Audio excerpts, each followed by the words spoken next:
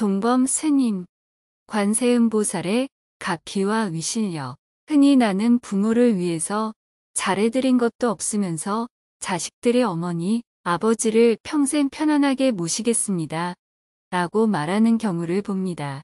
부모들은 그 순간 속게 됩니다. 어느 자식이 제 볼을 내팽개치고 부모만 모시겠습니까? 인간이라는 것은 그렇게 안 되게끔 돼 있어요. 다 제 볼 일이 있고 제 자식이 있고 그런 거예요. 그런데도 순간적으로 어머니 아버지를 아무 고통 없이 모시겠다고 하면 속아버립니다. 지혜가 환하게 밝으면 미혹하지 않습니다. 지혜관을 갖도록 노력해야 합니다. 다음으로 기관은 고통에서 건져주는 능력입니다. 자관은 열악이라고 해서 기쁨을 나누어 주는 것입니다.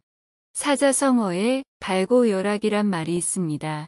즉, 고통에서 빼내어 즐거움을 준다는 뜻이죠.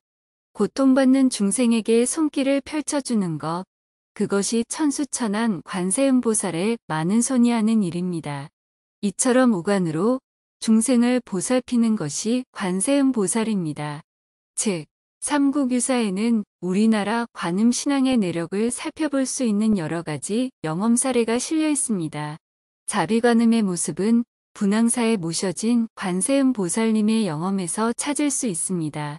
실명한 어린아이가 어머니를 따라 분황사에 와서 노래로 기도를 합니다. 신라양가 대부분이 관세음 보살님께 노래한 내용으로 전달되고 있듯이 이 노래도 향가에서 중요한 대목 중의 하나입니다.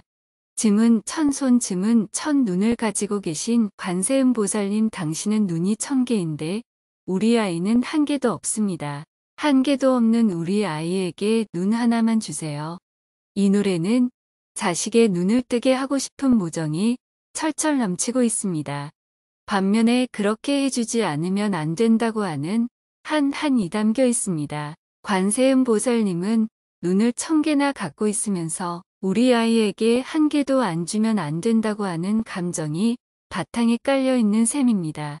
아주 간절하게 호소하면서도 한편에서는 안 들어주면 재미없다는 마음이 담겨 있는 것이죠. 정정과 한한을 동시에 노래하고 있는 것으로 우리 민족의 감정이 담겨 있습니다. 다행히 관세음 보살님은 한을 남기지 않고 아이의 눈을 뜨게 했습니다. 정과 한의 감정은 왕생가라는 노래에서도 잘 드러납니다. 달아 달아 밝은 달아 서방정토 극락세계 아미타불께 극락세계에 가고자 하는 사람이 동방에 있다고 전해주시오. 만약 나를 버려두신다면 당신의 원이 이루어지겠습니까? 이처럼 달님에게 간절하게 호소를 하면서도 동시에 한까지 묻어보내고 있는 셈이죠. 다음은 중생사의 관세음보살에 얽힌 일화를 소개합니다.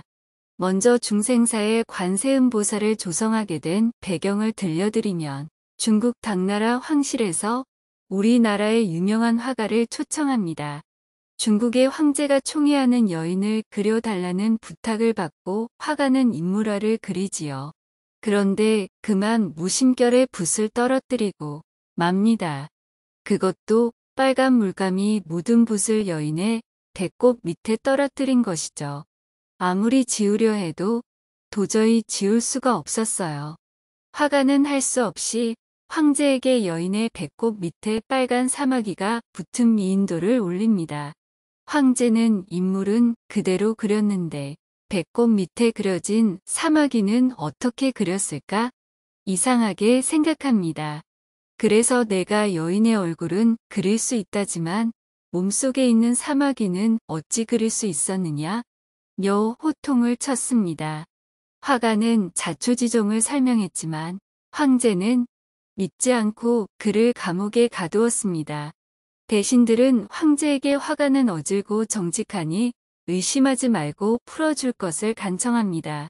그렇지만 황제는 눈에 보이지 않는 것까지 그려낸 화가를 탓하며 만약 안 본 것도 그릴 수 있는 사람이라면 어젯밤 황제 자신이 꿈에 본 것을 그려보라고 억지를 부립니다. 그러면 풀어주겠다는 말이죠. 화가는 할 수 없이 11명관 세음 보살님을 그립니다.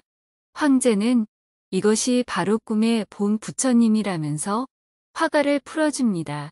화가는 신라로 돌아와서 중생사의 11명관 세음 보살님을 조성합니다.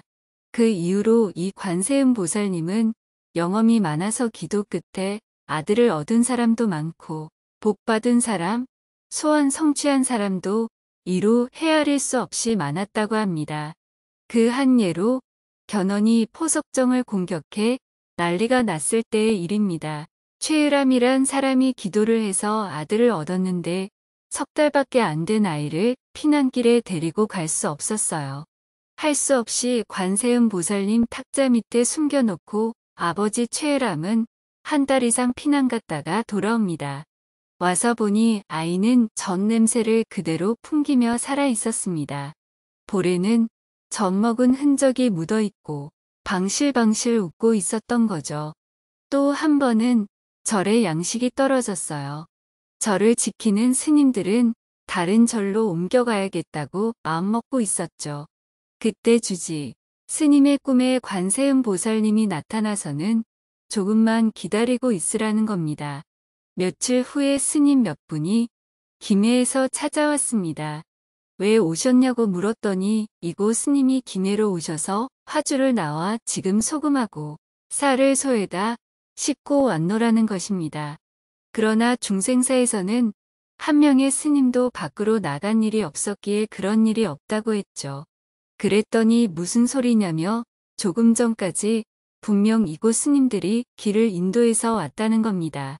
그리고는 법당문을 열더니 관세음 보살님, 저분이 우리를 인도하신 분이라는 겁니다. 그 이후로 김해 지방에서는 매년 양식을 중생사로 보내줬다고 합니다. 이처럼 삼국유사에 나오는 관음신앙의 영험담은 아이가 눈이 어두웠을 때 현실적으로 조화시키고 피난을 만났을 때 아이를 보호하는 등 현실을 구제하는 대비관음의 위신력을 보여주고 있습니다. 그 유명한 설악산의 오세암 같은 경우도 오세 동자가 관세음 보살님의 자비력으로 겨울 삼동에 아무 탈 없이 살았다 해서 오세암이지 않습니까? 현실을 조화시키는 위신력이 바로 관음신앙의 영험입니다. 감사합니다. 종범 큰 스님, 법문을 다시금 새기면서 천수천왕 관세음 보살님의 위신력으로 더욱 마음이 평온해지고 항상 행복함을 느낍니다. 부처님 법을 전합니다. 선불하세요. 구독과 좋아요 부탁드립니다.